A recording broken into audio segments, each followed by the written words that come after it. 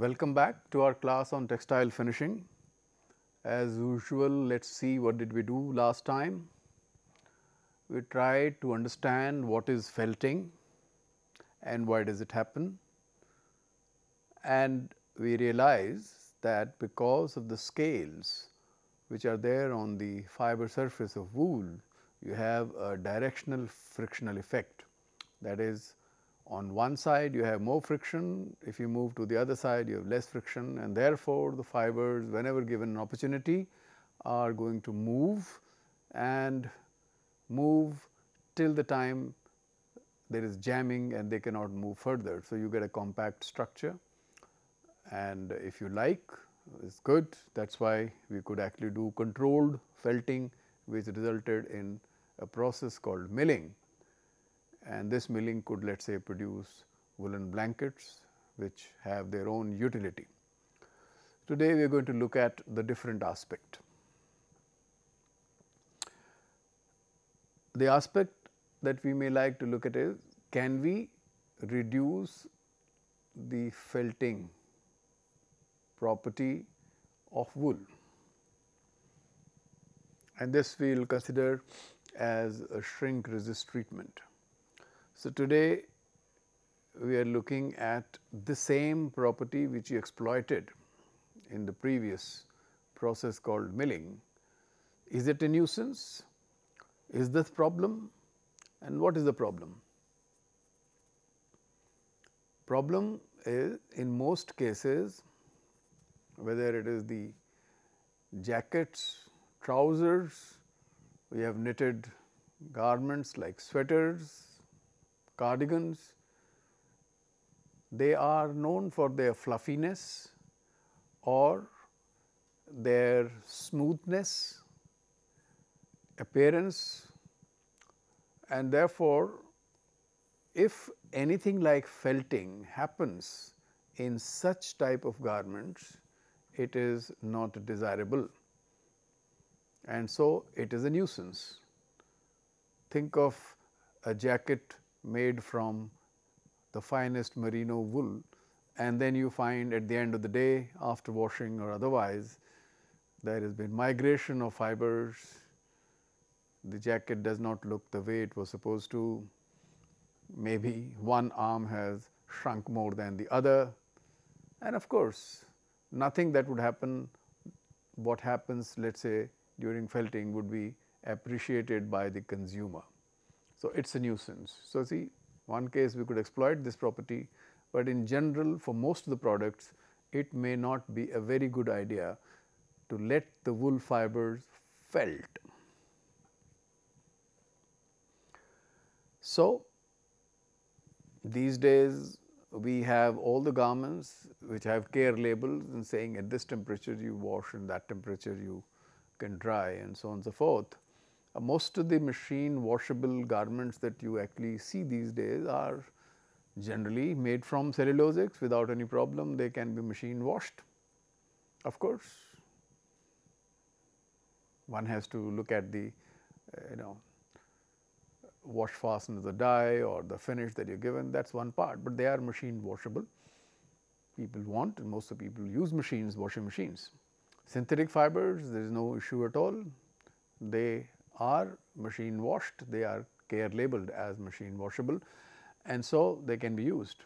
And the blends of these material also synthetic fibers or blends with viscose or cellulosic fibers, cotton etc., can easily be uh, machine washed. What about wool? If you see any woolen garment you buy, you see the care label. What does it say? Dry clean only. That means they are not confident that at the end of the washing cycle, what will you get? It is not just for the wash fasten of dye, which of course, in some cases may be true, but today because your dyeing and finishing chemicals are relatively more understood, but uh, therefore, the care label would say what temperature should not be used for washing, but they are machine washable. But wool, any woolen garment you will see that what is written there is dry clean only. Such garments would you like to put in a washing machine? You dare not. You do not know what is going to come out. So, in some sense it could be one of the goals of all kinds of treatments that you want to give that can we not make woolen garments also machine washable. That is kind of a dream one should always have. So, let us see how do we go about this. When we talk about this, the one other thing which we must probably work for is can we make wool shrink resistant. So, if we are now concerned about the shrinkage not due to relaxation, we are not so much now at the moment talking about shrinkage due to swelling. We are now talking about shrinkage due to felting, the directional frictional effect. You see, you are quite sure whenever you buy a woolen garment, people may like to see this kind of a mark, a standard mark which says, well, it is a 100 percent woolen fabric. Wool, fine wool for that matter is obviously costly. There may be some reasons why people may like to add different fibers, make blends of different kinds. Those fabrics, garments would not be carrying this kind of a label. So, wool as such is a very uh, costly, fine fibers, quite aristocratic status it has. And so, one would obviously see if there is a wool mark, you are satisfied. So, this is a standard, you can have any other standard also, but wool mark all over the world has been used as one of the standards. This looks like this. We may like to have another standard later. So, recalling what are we going to do? The DFE directional frictional effect is the cause for felting. It is because of the scales that the wool, wool, wool fiber has on its surface. The finer is the wool which is the most costly one like the Australian merino, the more scales it has. That means, it has more tendency to felt. Therefore, one has to take care much more. So, you pay more and pay for taking care of the garment also more. Well, if you can afford of course, you should get it dry cleaned no issues on that, but with the times that are changing people would like to see can something else be done. So, if you want to make wool shrink resistant and let me again remind we are talking about shrinkage against felting.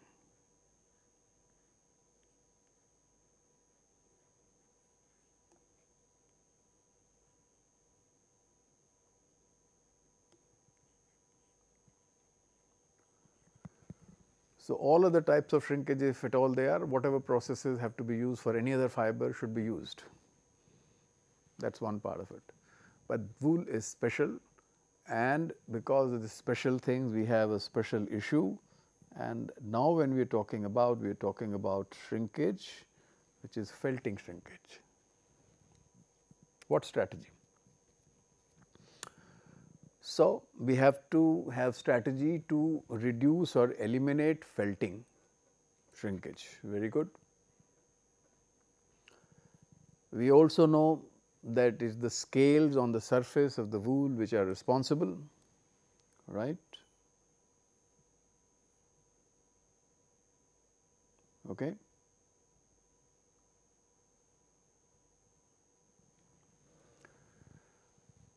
And so, if this is the culprit, we have to somehow handle this. What can you do?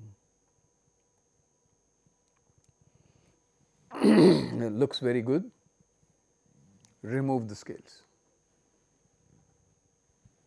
If you do not have scales, you do not have a DFE and if you do not have DFE, you are getting towards this goal.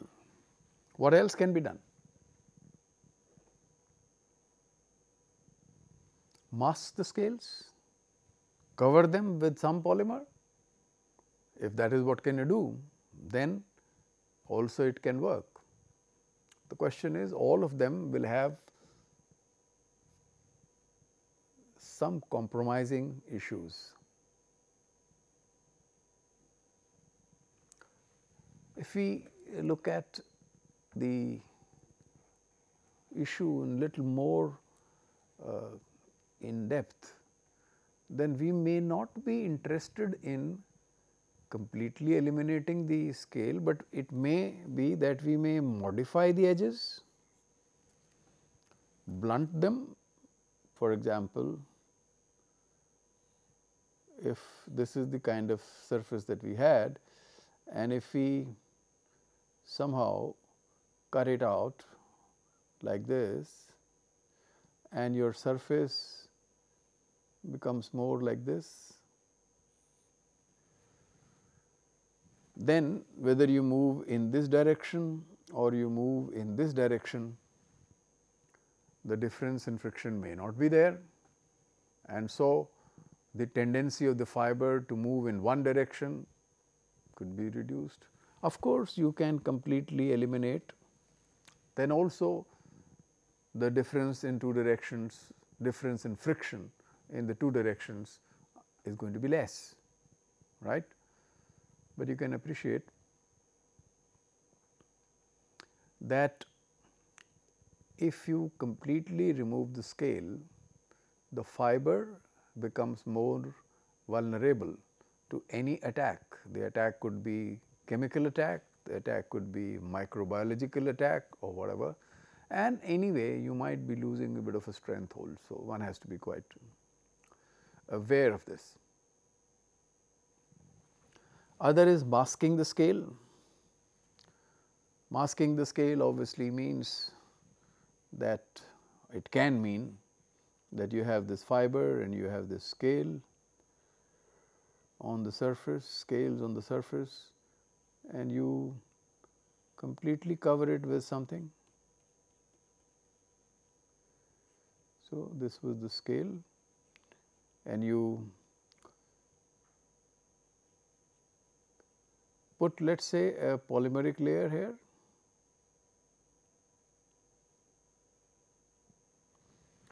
and if it can cover the scale then obviously again in this direction or in this direction uh, the friction may be similar and therefore, the DFE may not be there. After all you are more concerned about the DFE.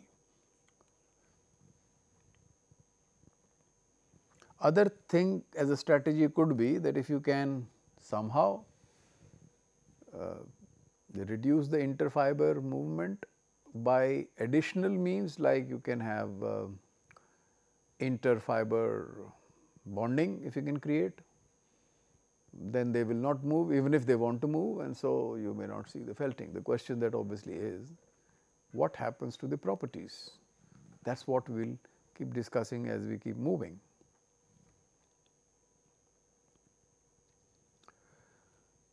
So, one of the first method people had tried was chlorination. Now, here the strategy was obviously to destroy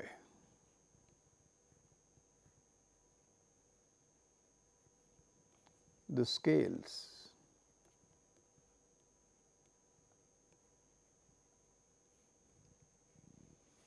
So, you are not looking at now masking, but you are looking in this kind of a strategy approach is destroy fully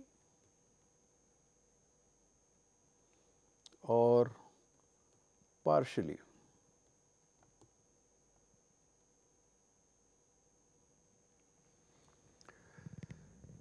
Now, if somebody tells that you do alkaline chlorination of wool,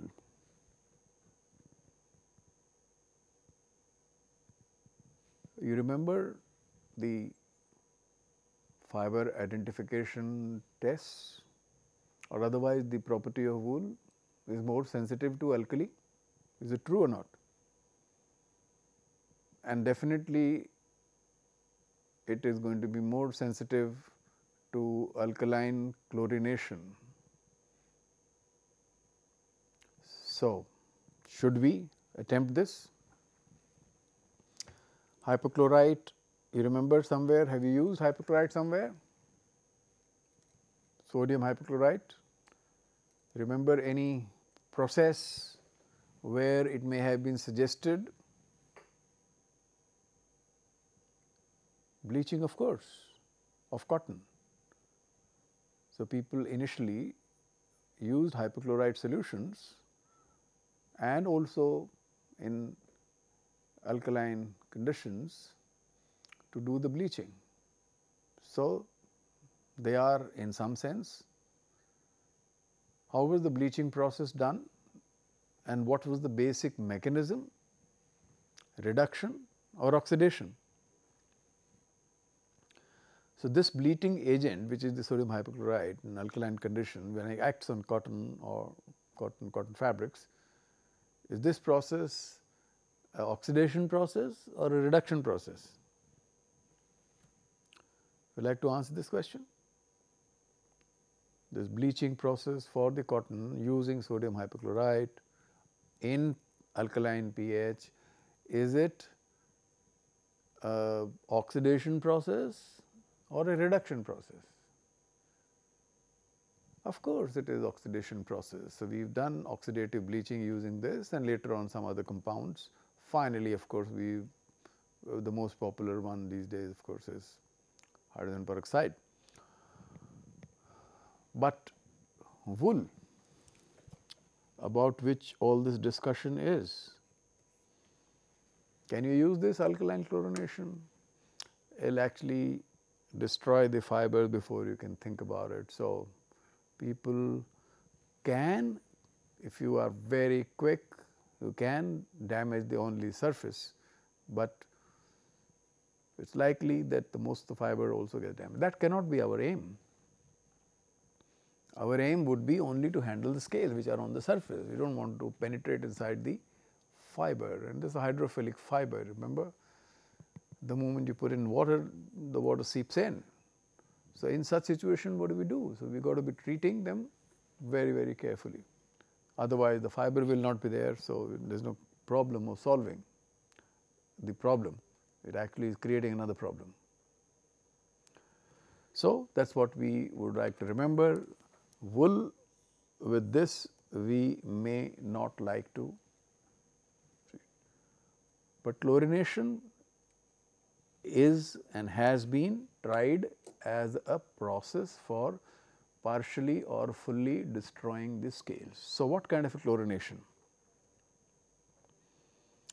So, we are looking at acid chlorination. The acid chlorination has got two advantages. The protein fibers including wool are more resistant to degradation in acidic environment. So, it is safer in some sense. You remember you dye in uh, acid acidic pH, the acid dyes are dyed. So, wool can be resistant. If the same kind of a pH is used, the wool will be safe and if you have a chlorination or chlorinating agent within that like hypochlorous hypochlorites, then something like this can happen. You can remove the scales and get a surface which is more uniform and so the friction in this direction or friction in this direction are going to be same. So, uh, when we do the acid chlorination the scales are uh, destroyed we hope that the surface is going to be more uniformly treated and the frictional coefficient in the direction towards the root or would be the same and so we may not therefore have the issues with directional frictional effect. So, the pH levels are pretty low. The reaction obviously has to be very very controlled. We can have partial destruction of the scales, but we have to be very very careful again. Although the reactivity in acidic conditions, the chlorination reaction is the conditions will be slower than what you otherwise would have seen in an alkaline condition, but still you got to be very very careful. The temperatures are close to room temperatures, the timings will be in seconds and not in minutes. So, you treat and remove the chlorine compounds and so on and so forth and the best way to do is immediately neutralize and give an anti-chloro treatment. So, that the reactions are stopped.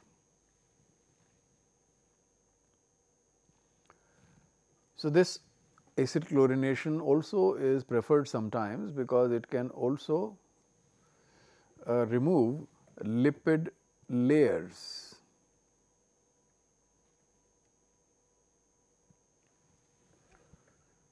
So, lipid layers can also be removed. So, acid chlorination can still be an interesting uh, uh, scale removal process. Okay. But you can understand as I said the time requirements are going to be very slow. So, batch processes may not be very suitable for such type of treatments, because by the time you start a batch and finish the batch and remove the thing, the time taken may be too much and destruction may be there. So, most of the processes there may be the one which are going to be used commercially are going to be uh, continuous process.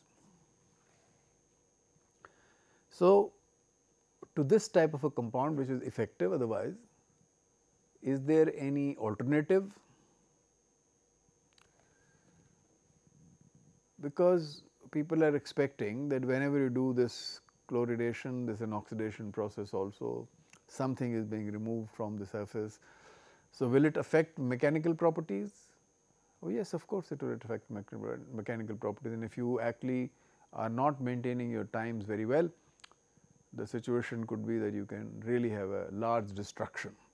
It will of course have other uh, implications also. The hydrophilicity of the surface may increase because as we said some lipid layers will also go. But you must remember the treatment that is being done here on the wool fiber which have already been pre-treated in some way or the other because the natural wool contains a lot of fatty matter, much, much more than uh, the cotton for that matter. And therefore, the wool may have been pre-treated also, but now this is in the finishing stage. But still there may be lipid layers which are there part of the things and they may also be removed during this process because the scales are being removed therefore, mechanical properties can get affected and hydrophilicity can improve. But in case you like this it is a good idea if more mechanical damage has taken place then optimizations will have to be done. Another compound which came uh, into uh, you know notice where you wanted more controlled oxidation uh, rather than very rapid oxidation uh, was a compound with uh, made from you know cyanuric acid.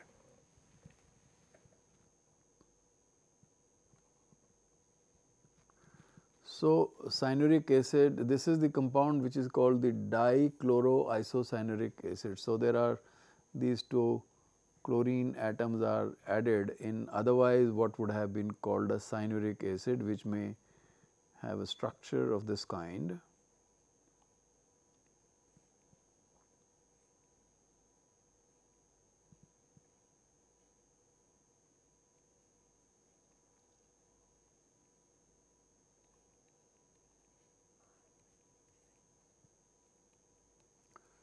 So, you had your cyanuric chloride formed by action of chlorine on cyanuric acid. So, you have a cyanuric acid and you have uh, chlorine and you get finally a compound which is this compound known as dichloro cyanuric acid or DCCA.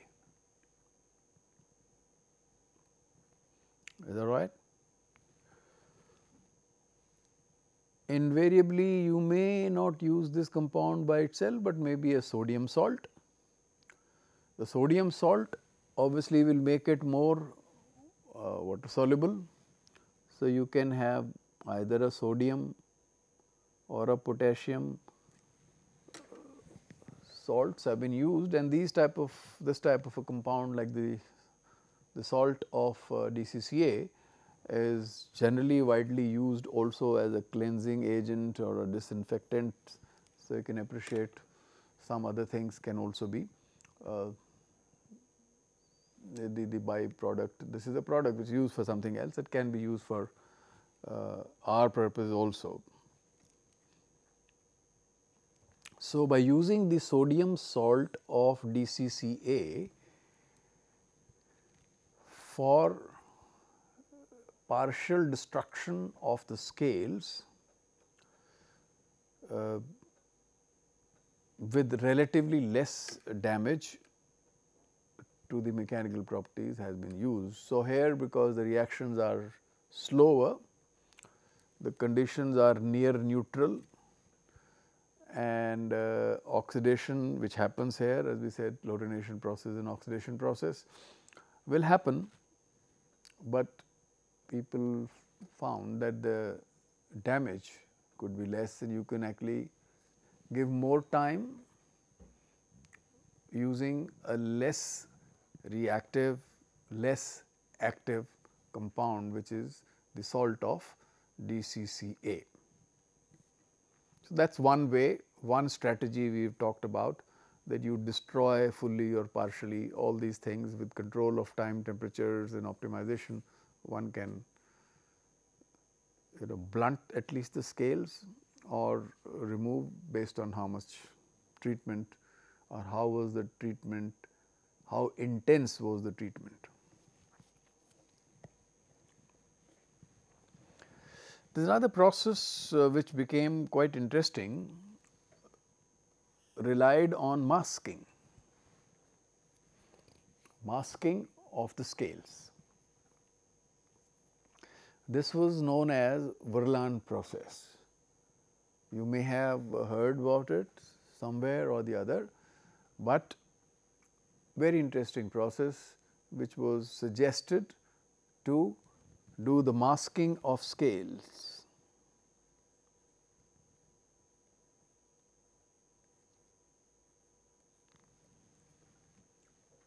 So, when you do the masking of scales obviously we are expecting the participation in the DFE would be less.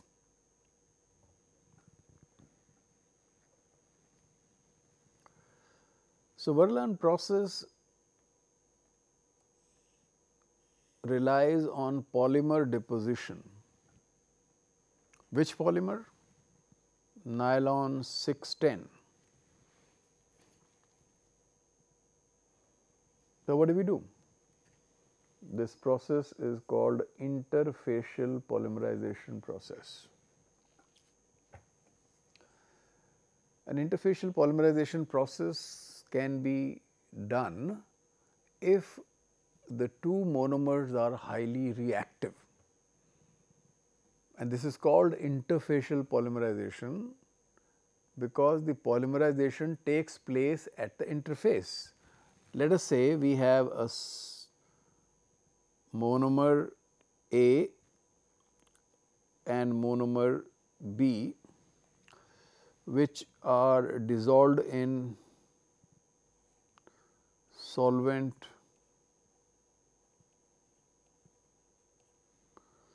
let us say S 1 and another in a solvent S 2. So, you have a situation where two monomers are dissolved in two different solvents. These two solvents are definitely not miscible, not easily miscible.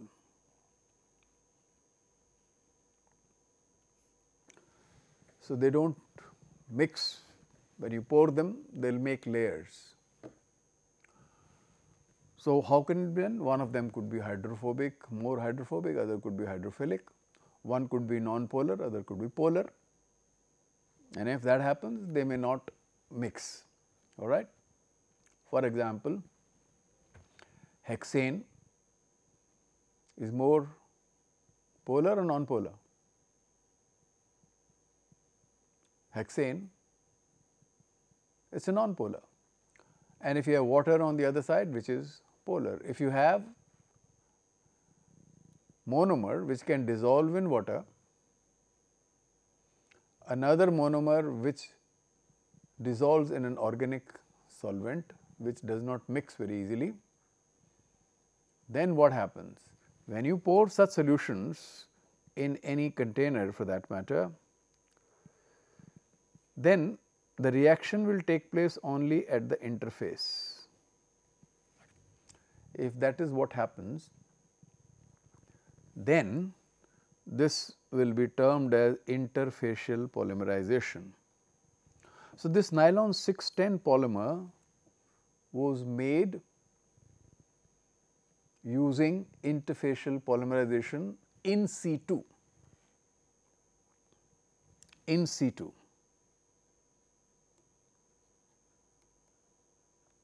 on the surface of the fiber itself. So, one of the monomer for this nylon 610 is hexamethylene diamine. This is hexamethylene diamine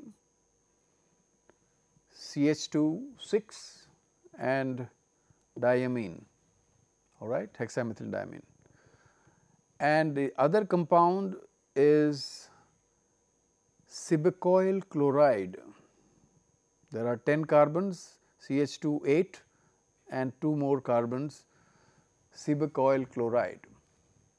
If instead of sebacoyl chloride you had the acid, not the chloride of sebacoyl acid, but the acid that means you had only a compound like CH2 8 COOH and COOH. This is sebacic acid. This and hexamethyl chloride if you want to react, this reaction will have to be done at higher temperatures, higher pressures. This is almost similar to nylon 6,6 preparation where you use adipic acid, right. You get the point. But the moment you make a chloride of this acid, this becomes very very reactive. Theoretically, it can react with anything hydroxyl groups. So, you cannot store it in water. So, what it means is this is the one which will be dissolved in organic solvents.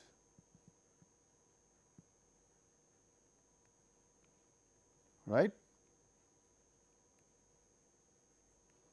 will be dissolved in organic solvent, while the amine can be dissolved in water. So, if this organic solvent is non-polar, they will make layers, they will separate out even if you do that. And so, we are obviously not interested in that. So, what we can do is let us say in the Wurlan process what people did is that you dissolve amine in water and pad the wool fabric yarn through the amine solution, squeeze it and pass it through the solution of sebacoyl chloride in an organic solvent. So, the moment it enters this bath, immediately the polymerization takes place at the interface. And so, what you will get? You will get deposition of nylon 610 polymer on the surface of the wool fiber. This is masking. The question that people may like to know that would you have prefer a masking of this kind where the polymer is all along the fiber surface it may not be the right idea. Why? Because now the wool is inside and the polymer which is now nylon 610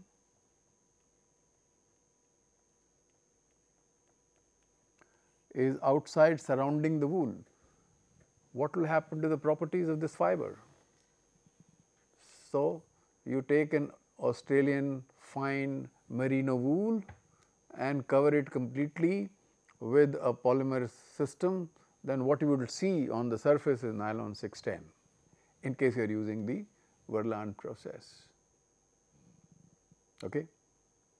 So, that may not be right that means the wool is not wool anymore. So, you might as well use the nylon 610 by itself why why wool. So, your aim would not be to completely cover and therefore, you do not have to add too much of a polymer, but your aim would be to if this was the scale originally your aim would be to cover this in a manner with a polymer here, the polymer here, the polymer here and the polymer here. So, finally, you may get surfaces of this type okay.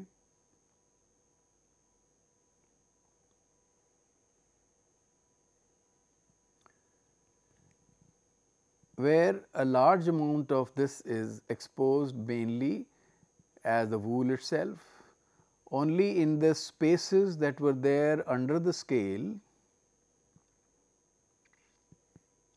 are the ones which you are covering with a polymer. And so, you have large spaces which may be exposed as wool and the wool property would be predominant. So, your aim is not to cover the whole surface, but only to ensure that when you move from the other direction against the scales, there is another uh, material which has been added and creates a uh, condition where the friction in this direction is reduced. So, you may have hills and valleys kind of a, a surface, but it is not fully covered because that will probably change the whole property of the material which you may not like. So, this is what we had uh, just talked about, right.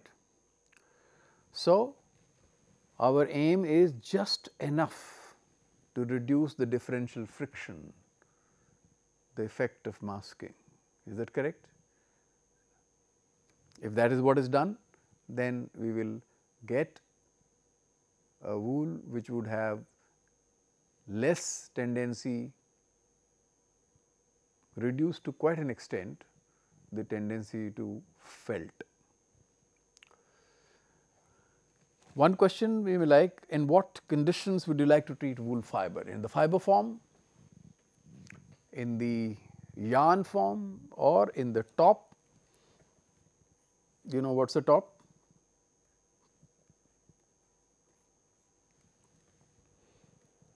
A top obviously something like a sliver which we call the name uh, as a sliver in cotton spinning. In woolen the same thing is known as top. So, would you like to treat in the fiber form, the top form, the, the yarn form or a fabric form? Interestingly, most of the treatment are done in top form.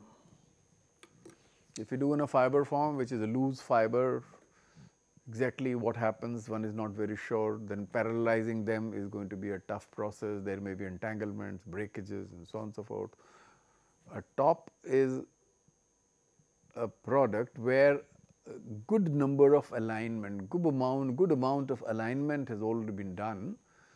And if we treat in this form at least this alignment will be there and then you only twist and make your yarn.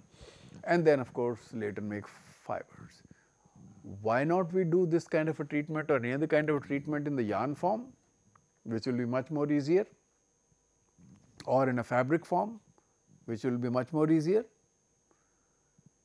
The problem is when you do this surface treatments which you are hoping only some surface will be skimmed. So, top surface which is exposed to the chemical treatment or a polymer treatment will be uh, treated, you may have a good number of fibers which may not be treated. As I told you both the treatments are going to be quick.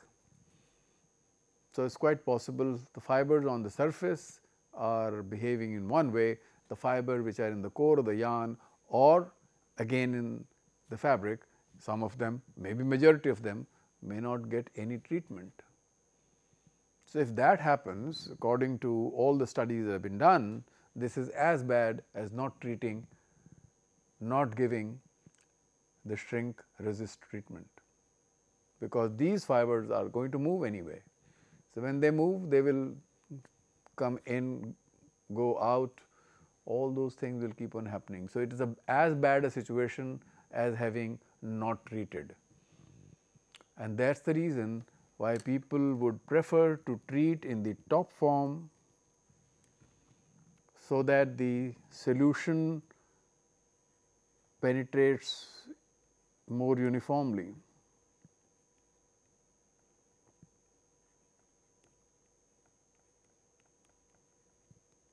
right.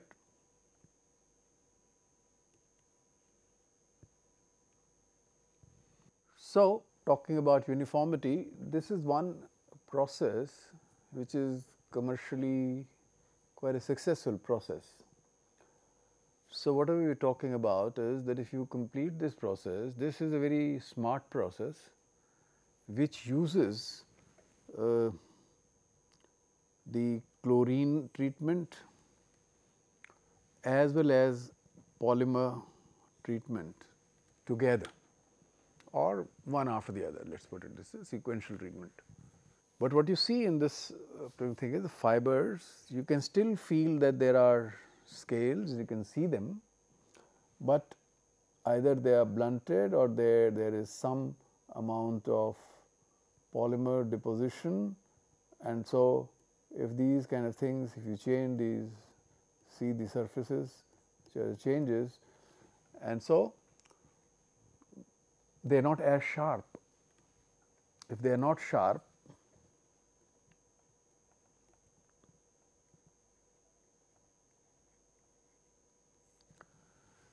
then it is hoped that the friction in the direction of the root or in the direction of the tip are going to be similar and so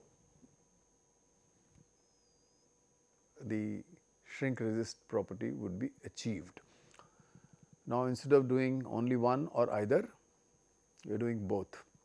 So, this is called a chlorine Hercosett process which uses a polymer which is not the polymer that we just discussed before.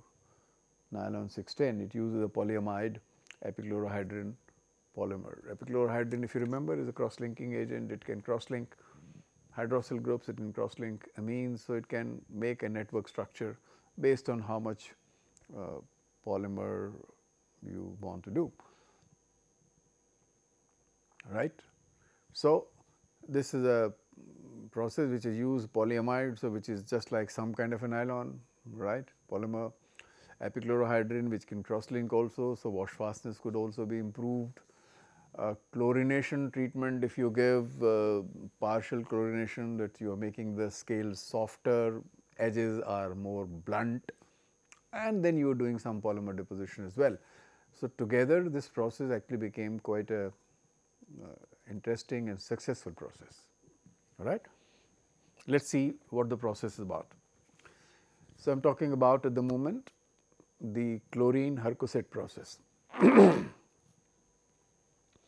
so, obviously, you have as the name suggests you are going to do some chlorination for a very very limited amount of time.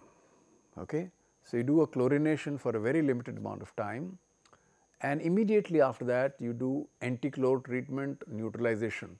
So, because you do not want the process to continue the chlorination oxidation process to continue for a long period.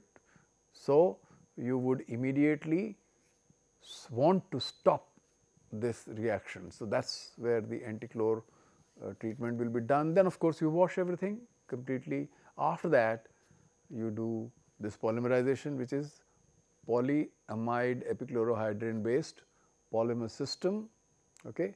and then of course, you dry this process will be complete.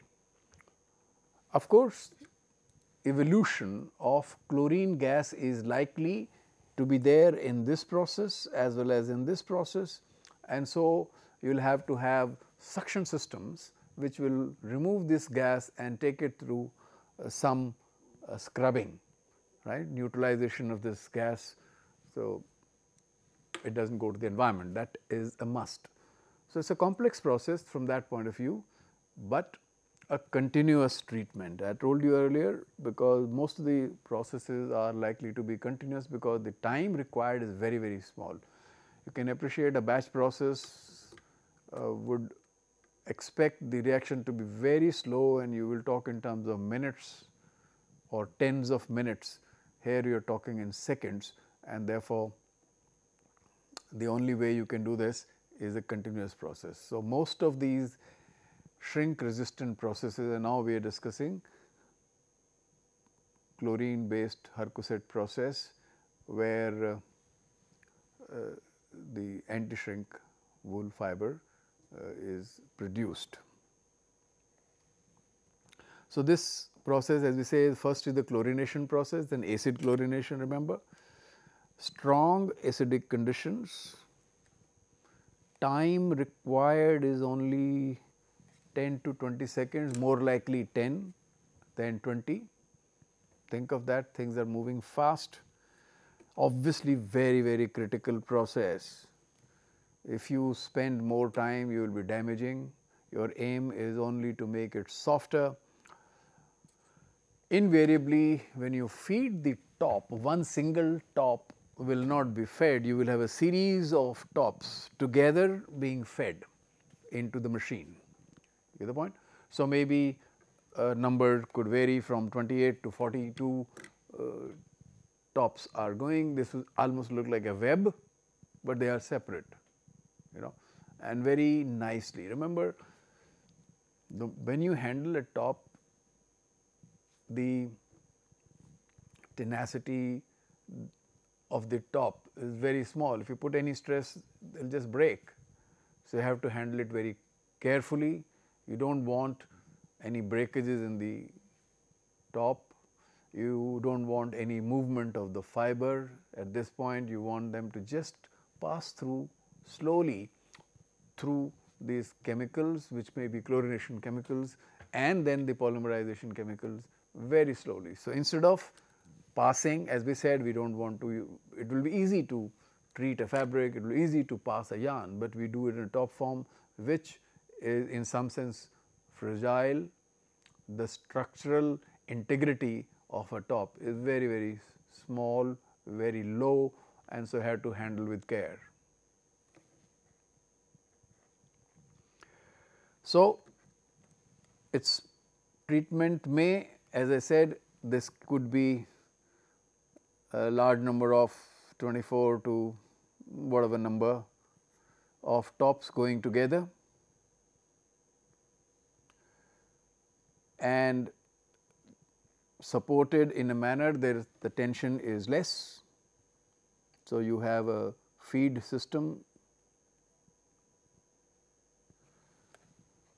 feed roll nipped, then it goes through over a support system like a plate maybe where almost in a tensionless form it is put on what we have as a perforated drum, okay, a perforated drum. It also should be moving in the same way. And what you do is do some spray of the chemicals. Actually there can be various method. You can actually have a dip, it may the whole thing may be uh, dipped, but you may have spray enough spray. So, there can be a spray bar which is spraying the chemical, the chlorochlorination chemical which is the could be hypochlorite in very strong acidic conditions. So, you have a spray bar and so the whole series of tops which are moving are sprayed with the right chemical just at the time as it is entering because you want to control the time of reaction and then give some time so that it moves from one direct part to the other part over a perforated drum which is moving and there is suction. So, you have suction.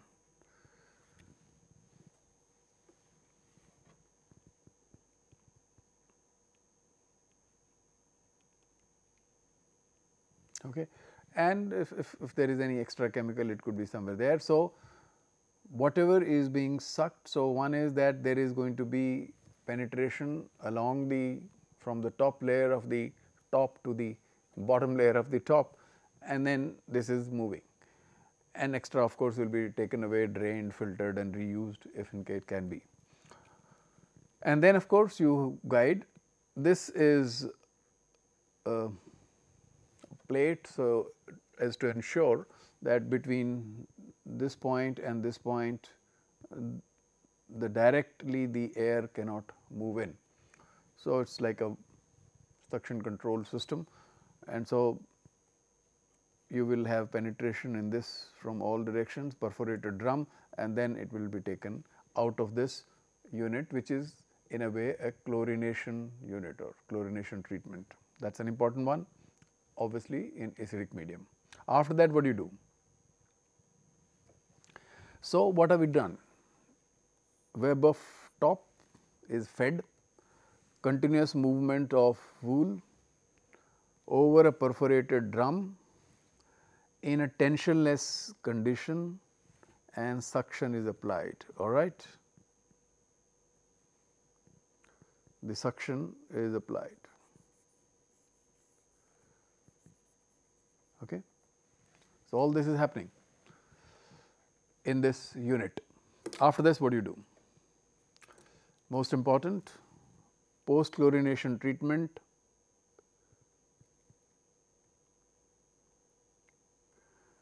is the neutralization is the process what we call as an anti-chlor that any chlorine which obviously is being carried through this process must be now removed. And one of the ways is chlorine the oxidative thing. So, you get to some kind of uh, reductive systems and sodium sulphite or sometimes uh, bisulphites etc., can be used. Uh, they will react with anything called chlorine to form chloramines. So, wherever there is amino acid which is uh, there which has been formed because during the chlorination all this will have to be uh, maybe containing the chlor chlorine this has to be removed by using some reducing things which are called the anti-chlor treatment. Immediately the chlorine will be removed and what you will get is uh, a material which is softened, but does not contain chlorine, it has been removed. All right. Some treatment, softening treatment in this has happened. So, you have the scales which are softened. So, you may be getting something like this on the surface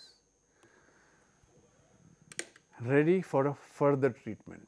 Okay. And what is the further treatment? It has to be polymer treatment, right.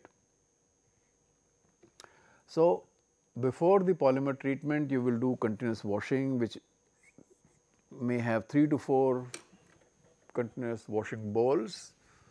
So, that everything is removed which could be impurities, reaction products and the lipids which were which we expecting uh, would be removed during this uh, chlorination treatment they must be removed. So, if they are removed you say our tops or the web of the tops is ready for polymer treatment. The polymer treatment as we said is the polyamide epichlorohydrin based systems and uh, they are treated almost near neutral conditions. Temperatures are also quite low, they are not very high, temperatures just 35 to 40 degrees time is just about 5 to 10 second is required for all this reaction to take place. The add-ons we said cannot be very high 2 percent to, to 2.5 percent or maybe less than that is what you may require. After this theoretically your process the chlorine Hercosett process is complete. But of course, you will do some drying or may apply some softener purpose of softener you already know these are the type of softeners which are uh, which you have studied before the quaternary ammonium compounds and the uh, amino siloxanes okay dimethyl amino siloxane. So, all these things can be used also for softening treatment.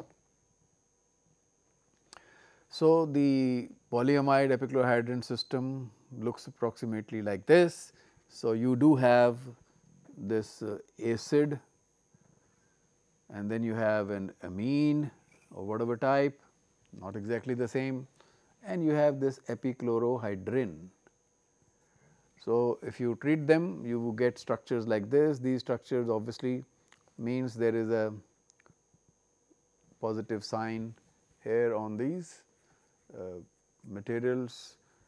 And they can theoretically break from here and do another cross link for another thing you know the epichlorohydrin can make a crosslink.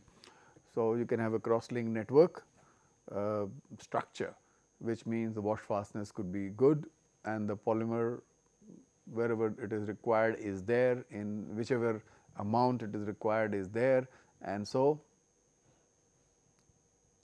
the directional frictional effect can be taken care of. Finally, of course, as I said you have to drying because polymerization temperature is also very very low room temperature polymerization takes place they are also reactive now. And then to dry the material up to about 10 percent moisture and that is it. So, whichever kind of a dryer that you may like to use.